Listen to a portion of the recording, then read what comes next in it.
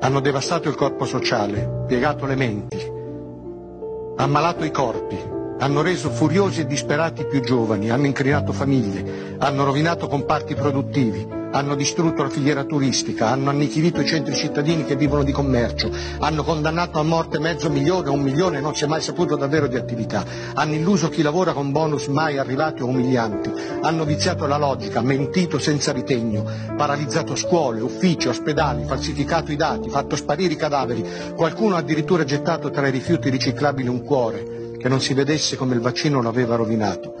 Hanno ricattato, obbligato a pungersi a oltranza, irriso i menomati, ingiuriato i defunti, fatti furbi sui dispositivi, sulle maschere, sui banchi a rotelle, sui tamponi, sui presidi.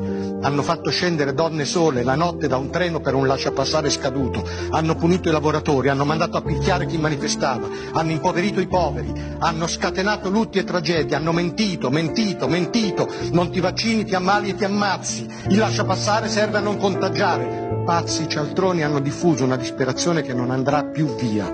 Dopo la farsa seguita al Covid io non ho più smesso di raccogliere il lamento degli offesi sulla pelle e oltre la pelle, più in fondo, fino all'anima. Non so cosa mi succede ma non sono più quello di prima.